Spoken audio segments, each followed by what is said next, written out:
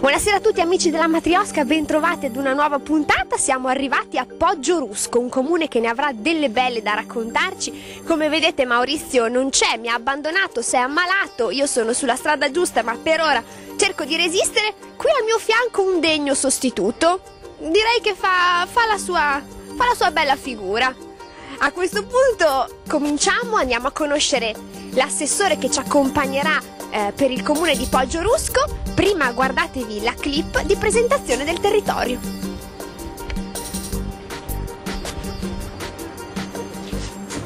Il comune di Poggio Rusco dista circa 42 km dalla città di Mantova, ha una superficie di 42,35 km quadrati e conta 6.459 abitanti. L'origine del nome risale al 1332, il documento ufficiale più antico in cui è nominato espressamente il toponimo Podium, l'odierna Poggio Rusco. Le origini assai più antiche risalgono all'epoca pre-romana ed etrusca. Il paese sorge su un'altura di 16 metri sul livello del mare, di qui l'origine del nome Poggio, che è mediamente dai 3 ai 6 metri più alta rispetto alle valli e ad altri paesi circostanti, risultando meno esposta ai pericoli di alluvioni del fiume Po. Nel 1332 il vescovo di Mantova, secondo quanto riferito in un documento notarile, cedeva la corte del Poggio ai Gonzaga, il palazzo comunale, già Palazzo Gonzaga, costruito intorno alla metà del 400 su disegno di Luca Fancelli, appartenne alla linea dei nobili Gonzaga come corte piccola del Poggio, fino a metà dell'Ottocento, quando divenne proprietà del senatore Tullo Massarani, che nel 1904 lo vendette al comune di Poggio Rusco. In piazza San Francesco si può visitare la chiesa parrocchiale, costruita dal 1748 al 1770. È molto più ampia della preesistente struttura romanica orientata in direzione est-ovest che era circondata dal cimitero. È dedicata al Santissimo Nome di Maria, come ricorda una lapide posta al di sopra del portale, costruita in uno stile barocco leggero su progetto dell'architetto Nicolini. Torre Falconiera o Colombara, Fungeva probabilmente da posto di avvistamento o come rifugio in condizioni di pericolo. Si ignora la data di costruzione, anche se è presumibile che risalga al 600. Faceva parte della corte grande del Poggio ed appare nello stemma del comune. Restaurata di recente, ha spaziosi vani disposti su tre piani. Poggio Rusco è famoso per il suo carnasciale podiense, la manifestazione solitamente si protrae per due domeniche consecutive a cavallo del Carnevale. Organizzata dall'associazione Ducal Accademia dal Pidrus, prende ispirazione dal bestiario podiense, una raccolta di animali mitici e leggendari. Tali bestie sono frutto della tradizione orale contadina poggese. La raccolta comprende 21 animali fantastici. Ogni anno, durante l'ultima domenica del Carnasciale, Dopo lo sproloquio del brigante della Pertica, un discorso satirico pronunciato in dialetto poggese, viene scoperta la bestia, un simulacro di cartapesta che raffigura la mitica creatura secondo le descrizioni della tradizione.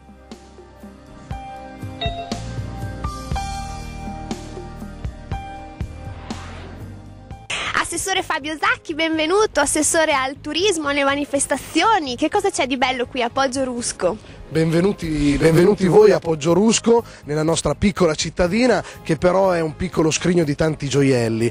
Noi abbiamo una popolazione di circa 6.500-7.000 abitanti, ma una popolazione di gente che ha una tradizione secolare, che si rispecchia in tantissimi eventi e manifestazioni, una popolazione che gli piace fare festa ed è ospitale nei confronti di tutti i nostri ospiti che vengono dalle province limitrofe. Eh, oggi faremo un giro, una panoramica nei monumenti, nel paese, nel centro storico, ma vi faremo conoscere anche le realtà più interessanti, dall'enogastronomia alla cultura, alle nostre istituzioni e alle nostre associazioni. La prima che vi vorrei far conoscere, ed è quella più tipica di tutte, è la Ducal Accademia d'Alpidrus. Eh, non riuscirò mai a pronunciarlo, ma forse è la più gogliardica, possiamo sì, diciamo, anticiparlo. Ecco, diciamo, diciamo, subito questo, certo, è l'istituzione che eh, si occupa del nostro particolare carnasciale podiense, il nostro carnevale che è tutto intriso di cultura popolare, di storie e soprattutto di bestie fantastiche. Di bestie.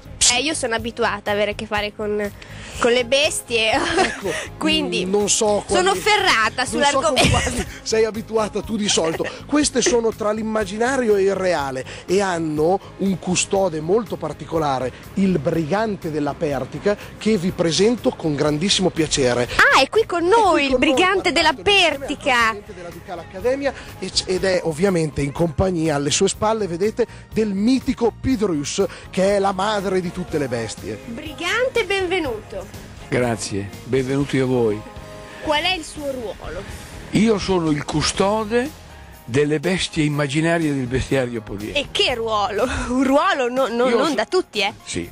In più sono il fustigatore dei potenti e dei prepotenti. Ecco, Sul questa... palco critico amministratori come il nostro assessore, il prete e tutti quelli che lo circondano. Ce ne vorrebbe uno in ogni comune di questi, di questi briganti. briganti. Sì, sì. Eh, io, la mia funzione era quella di togliere agli esosi e dare ai bisognosi. Come hanno detto quelli della RAI, una specie di Robin Hood. Un, un Robin Hood. Siamo nati prima. sì, sì, sì.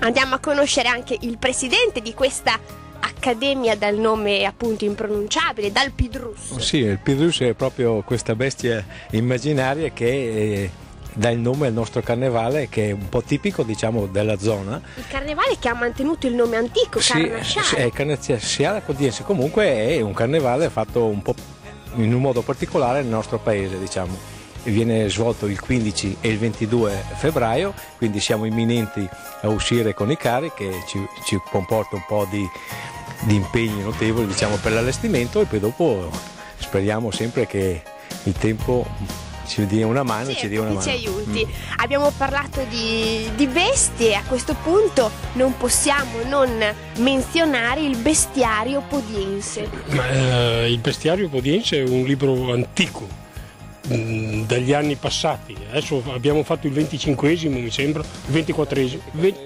Stampato su una carta molto particolare. Stampata su una carta particolare, carta Ecco, come vedete, vedete che il bestiario raccoglie alcune delle bestie proprio della tradizione. Vedete, eh, è stato scritto, come appunto si diceva, ormai già tanti anni fa, raccoglie alcune delle più singolari, come vedete il babau, la marmacula, tutti... Ehm, è tutti... enciclopedia. Cioè, è un'enciclopedia della cultura della nostra bassa Valle Padana e la particolarità del carnevale, come dicevo, è che ogni anno artisti e maestri della cartapesta realizzano una di queste bestie.